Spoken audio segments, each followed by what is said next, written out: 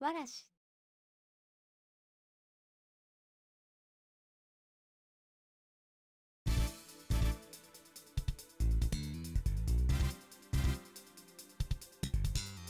I'm probably going to do really badly at this.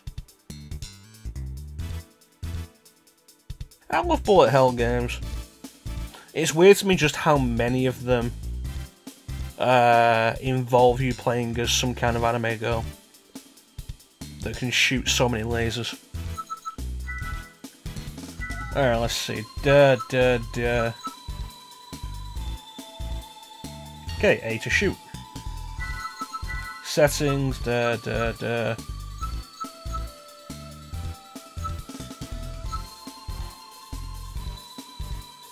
Do not attempt to play on a standard television or computer monitor on its side.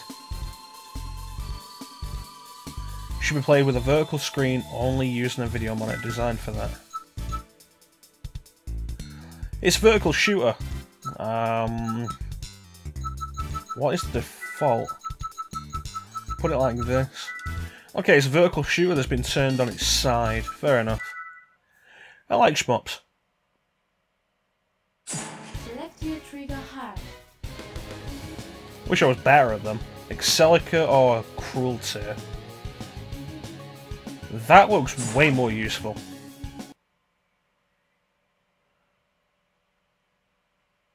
Okay, move your camera, character around. Press. Oh god, I remember Trigger Heart Exelica. It has the anchor system that I absolutely cannot figure out.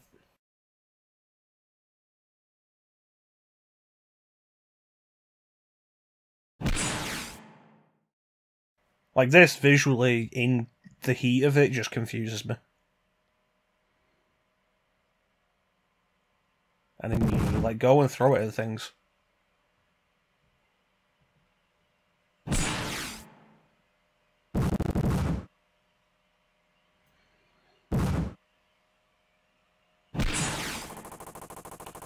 So Anchor lets you lock on uh, for bosses.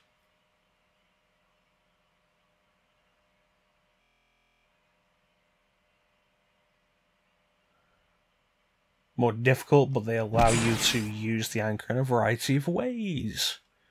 Alright, so let's play Trigger High Exelica. I'm sure I'm not going to regret this. Right, so that's what this is. You can't change it here. That's what vertical meant. If we put it in vertical, it would be it would actually be horizontal, but it'd be horizontal with the assumption that you're playing on a vertical screen. All right, I get it.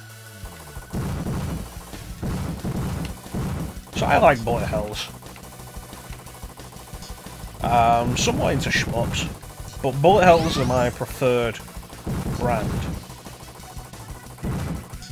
Probably because of like the visual interest of them.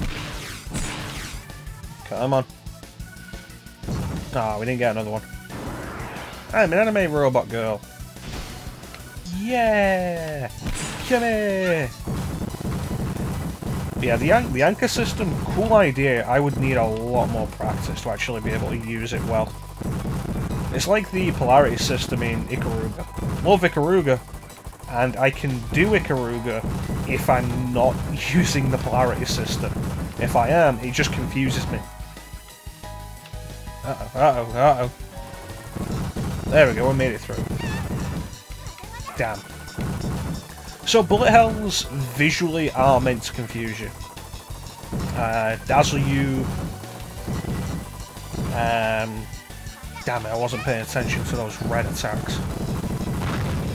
Uh, dazzle you and leave you somewhat frazzled, I guess.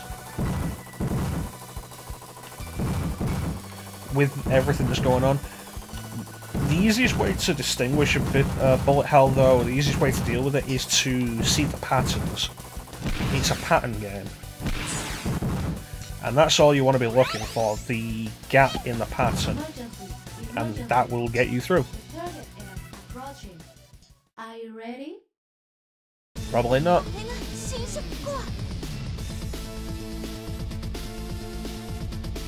Here we go. Like that. It's just look for the patterns, the gaps in the shots, and if you learn to distinguish it as a pattern system, then you shouldn't really have too much problem dealing with it. Although that's all theoretical, you end up at the point when what about when we start playing on the higher difficulties and get to the to the later bosses?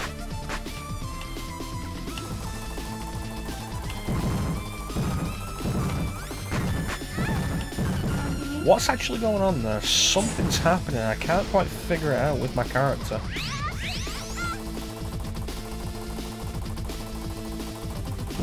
Oh, okay. I've, it's sending out drones, and I've just missed them completely. I didn't even notice them.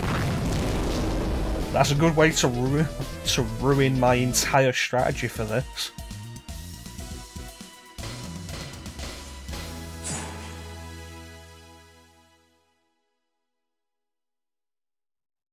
So this is a, a port of an arcade game. It's very clearly designed that way. And I don't have a problem with that. Arcade games can be a lot of fun. I it, I think this game has something that I wish more arcade ports had, which is the ability to just turn uh, a limited live system off. Okay, deal with something here. Damn it, they're on the ground.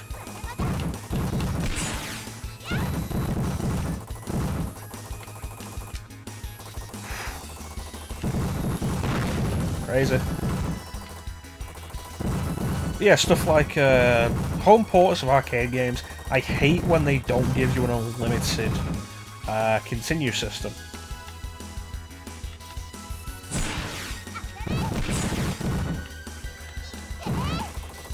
Because you're playing it at home. Like, what's the point of stopping you from doing that? And it's something Ikaruga does. Ikaruga will give you the option of playing with unlimited lives. And as a compromise, what it does is it just turns off the... Damn it. It turns off the score. Damn it. You can't get a high score that way. And it's like, that's fine. I don't care about the score, I just want to play through the game. And I like that, it's a good idea. Like, meanwhile, you consider something like Final Fight. Continue. I did not see that coming. Eight. Seven.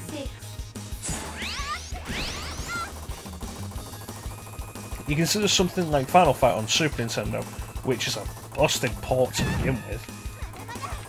I am not doing well at this. And it's a case of get through the entire game with a limited number of lives limited number of continues. And it's like, is that how it was in the arcade? No, you theoretically could have a limited number of continues in the arcade. Especially since it was a game designed to steal your money anyway, because that's what arcade games in the 90s were. I'm sorry, I mean in 1989, because it's Street Fighter 89. This is...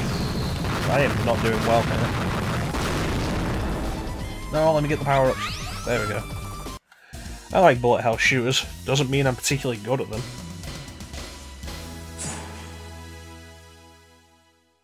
How many stages does this game have? Am I going to do this entire game? I wasn't planning on it, but now that I think about it.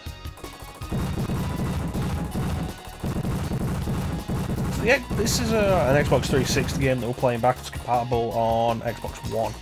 And the Xbox One, uh, the Xbox 360 got a bunch, damn it, uh, a bunch of uh, bullet hell shooters. PS3 really didn't, which is kind of a shame, because I had the PS3 at the time.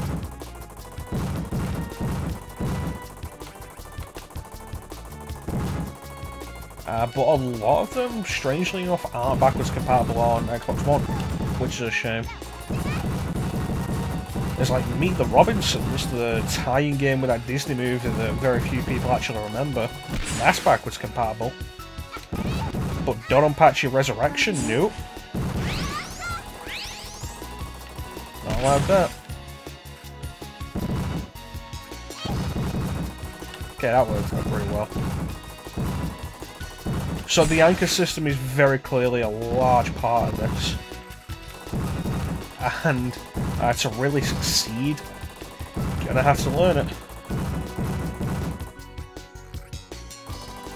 What else we got? Akai Katana, uh, Death Smiles. There was a bunch of really good shmups on Xbox 360.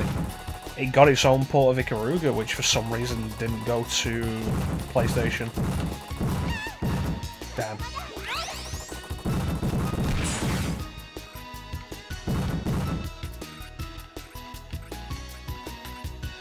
See, if you notice how the rotation is actually destroying, um, blocking a bunch of the bullets. It does make me consider whether or not there are just patterns that you can't make it through.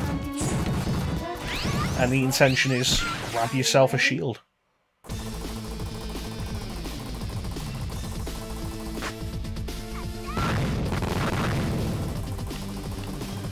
See how this one goes.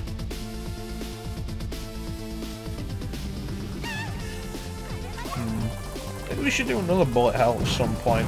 Uh, one that doesn't have a gimmick that I just cannot work my head around. So that that way I don't have an excuse for when I keep dying.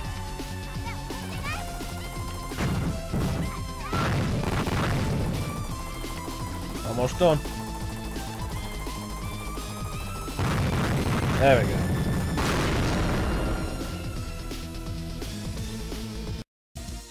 Next stage.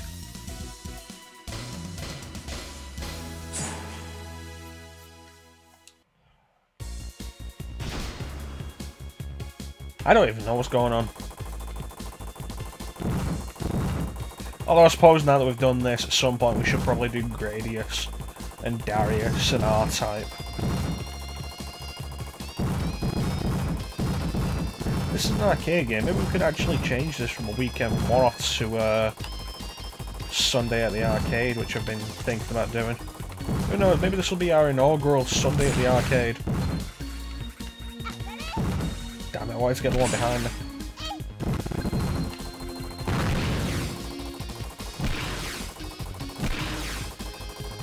Ah, damn it, I got cornered. Come here.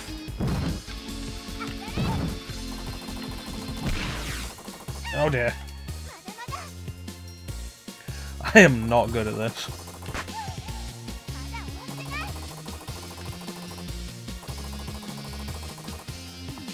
Hmm.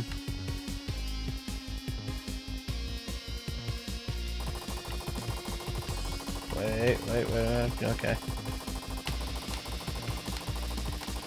The movement is a lot slower than I'd expect from a traditional bullet hell.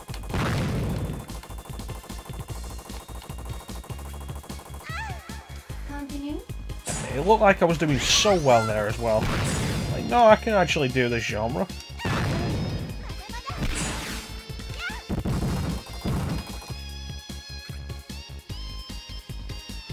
Okay, now what?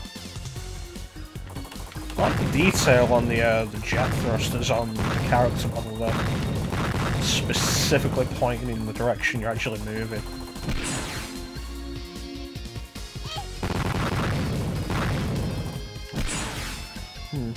So Exelica has the larger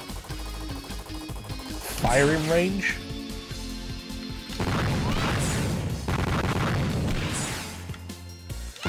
And it makes me consider what does Cruel Heart get to compensate? Yeah, the anchor system is very much essential.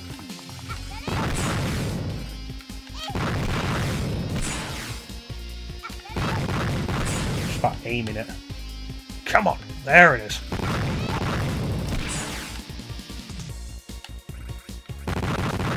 Nice. See, there's your problem. I was definitely relying far too much on the bullets, as opposed to the anchor. Which is very clearly super important.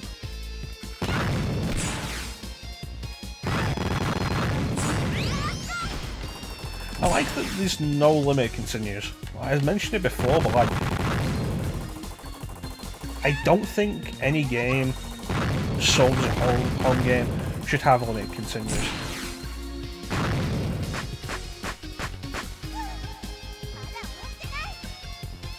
That's crazy. Like mess up there and you're basically done. You ain't getting back. It's like the Castlevania Marathon uh, when it was going on. We... I, I mentioned about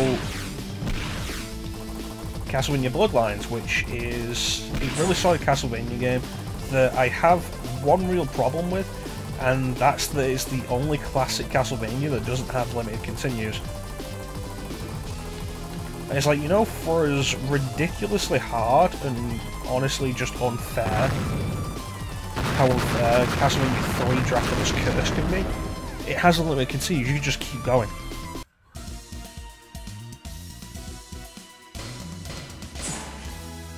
But, you know, that was endemic of Konami's design in the 90s. Yeah.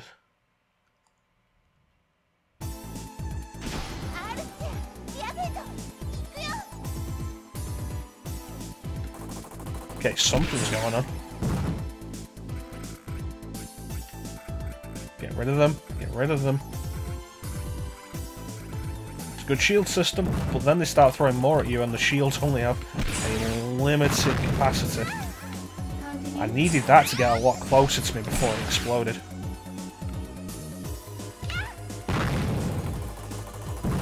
I feel like they're actually pretty generous with the, um, throw. That's gonna take a while. Ah. Like, I feel like throw will actually, when you throw a, a ship forward, it has a really wide hitbox, a lot wider than it seems. But the bullet hell genre is a genre with deceptive hitboxes anyway.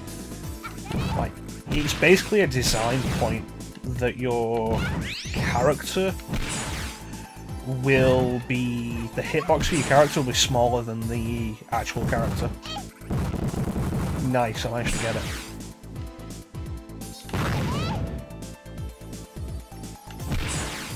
You get that one? Yeah. Nice, it only missed the one at the end.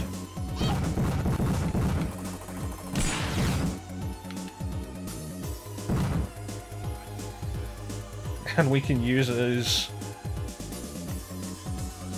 Oh, what would be the word? Like, we just spin it around like that and whack enemies with it.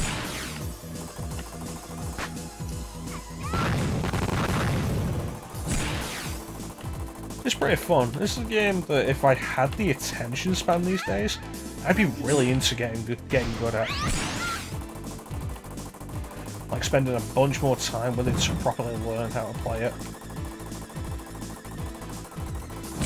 It's one of those cases, like, if I was going to have a bullet hell shooter as a kid, it would have been Ikaruga because it was on GameCube. I would have probably played the hell out of Ikaruga. Alright, what's going on? Boss. Oh, it's another anime robot girl. The true battle.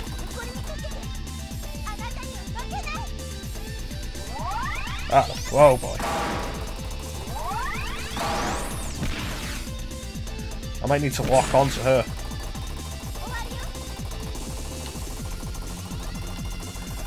Like, when I say patterns like that, which that we just had to deal with, uh, looks a lot more dangerous than it is, just find the hole find the gap in it.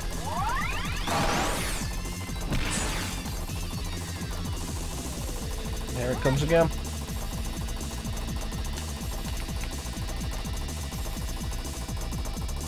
So when we're dealing with uh, standard bullet hell stuff, no, I can deal with this.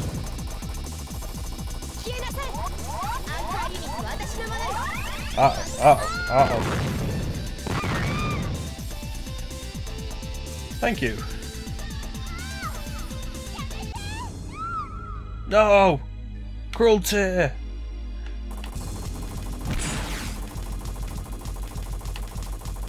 What a gripping story this game about shooting anime robot girls is. Come on, give me some of that. Give me some of this junk.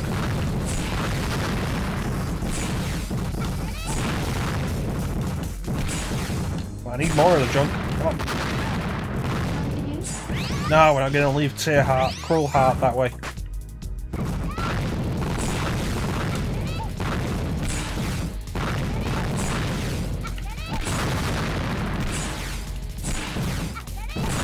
Okay, so the anchor system at this point is a little bit awkward. Like trying to grab some of this stuff which seems essential for this fight and we end up with a problem of sometimes we're just not grabbing anything and locking onto the enemy instead. Go. Alright, we did it. At the end of the game. Come on, Crawler. let's get out of here. I assume it's Peralta. I assume it's the other character. Is she anchoring us? No.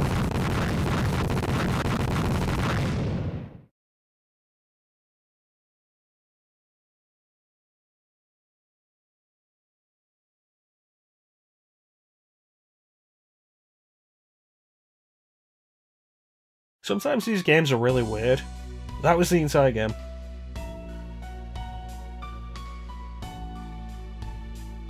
I wasn't keeping track of how many times I died, but I was that was like 20 minutes. Hmm. It's good stuff.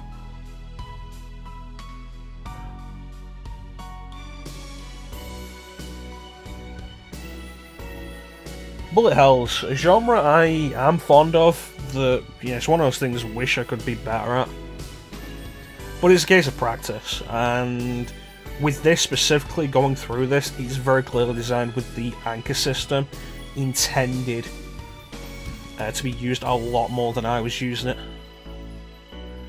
Like, there's just segments where there is no pattern to get through. You have to uh, grab something and use it as a shield, and use it as a throwing weapon to just destroy as many enemies as you can quickly. But that was Trigger Heart Excella. That was pretty fun. Exelica.